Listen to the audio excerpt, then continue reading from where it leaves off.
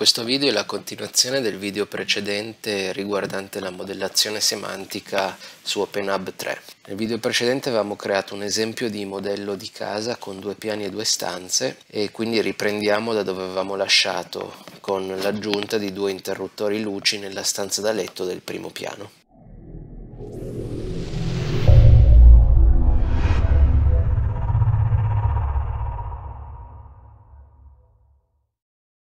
Adesso andiamo ad aggiungere al primo piano camera da letto un interruttore per la luce.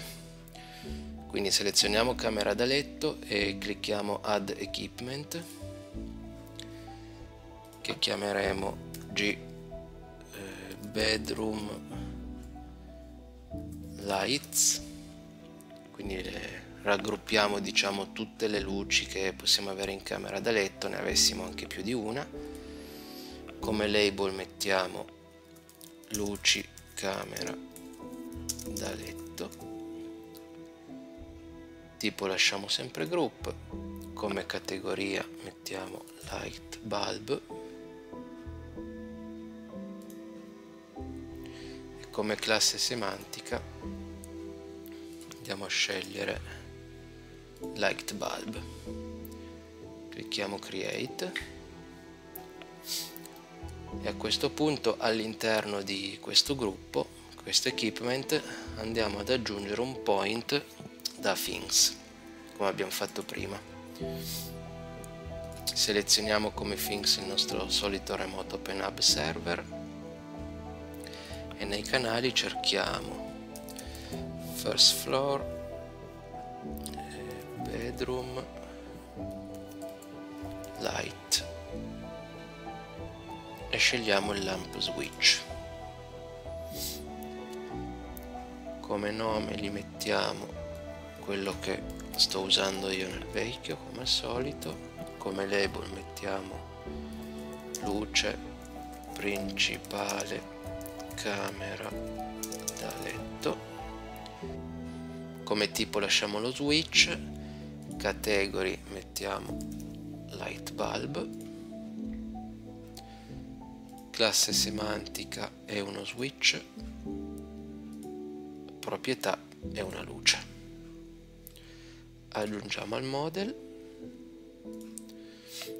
e abbiamo la luce, il nostro item, che al momento è spento. Per dare un senso all'aver creato un gruppo di tutte le luci della camera da letto andiamo ad aggiungerne una seconda Così a titolo di esercizio facciamolo partendo da things, quindi solito nostro server, andiamo nei channels e cerchiamo ff bedroom. E abbiamo il light night switch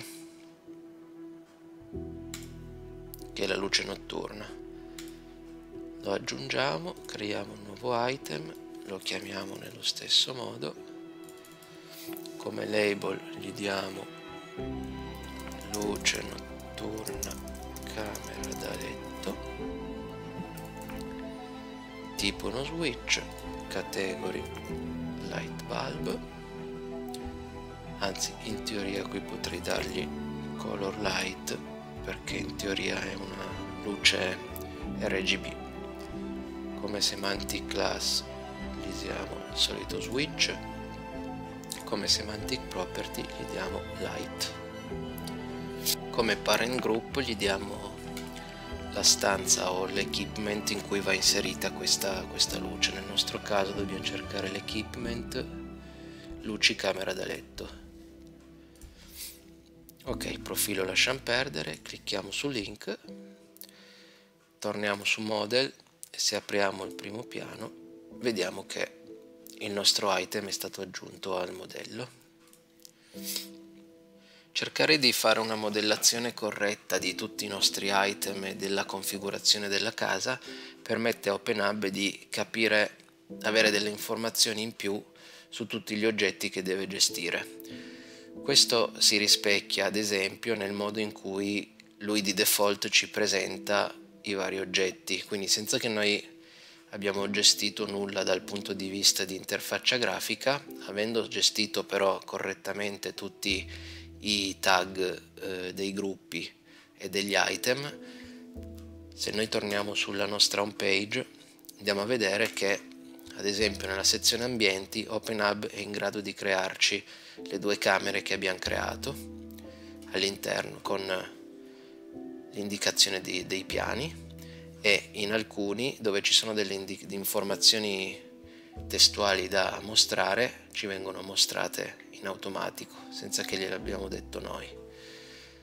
Cliccando sul singolo oggetto andiamo a vedere cosa c'è all'interno quindi tutto quello che è pilotabile all'interno di questa particolare stanza oltre alla visualizzazione per location abbiamo anche la visualizzazione per dispositivi dove OpenHub riconosce gli interruttori per le luci e i sensori, in questo caso di temperatura e di umidità. Oppure abbiamo la vista per proprietà, dove abbiamo tutte le proprietà di controllo del, che abbiamo utilizzato come classe semantica. Quindi abbiamo la luce, temperatura e umidità.